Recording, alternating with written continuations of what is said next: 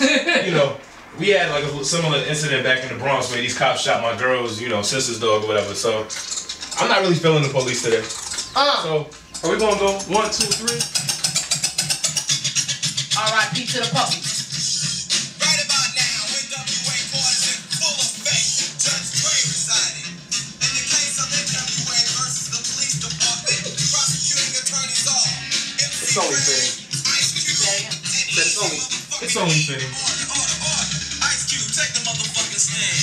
Do you swear to tell the truth, the whole truth, and nothing but the truth, so help your black ass? yes, so help your black ass. what the fuck you gotta say. on Bonfire Radio. We love you for listening. Thank you to Abigail for joining us. Thank you for Rich uh, to just coming through the studio again. Thank you, listeners, and and all for your energy and love. And shout outs to everybody that is on the check-in and on the replays. This is some new Sanford without right here on TK in the AM out of Caribbean Flatbush on Bonfire Radio. Check you out Friday. We'll be more ratchet. More ratchet, riding whales, and eating chicken eggs. Boom.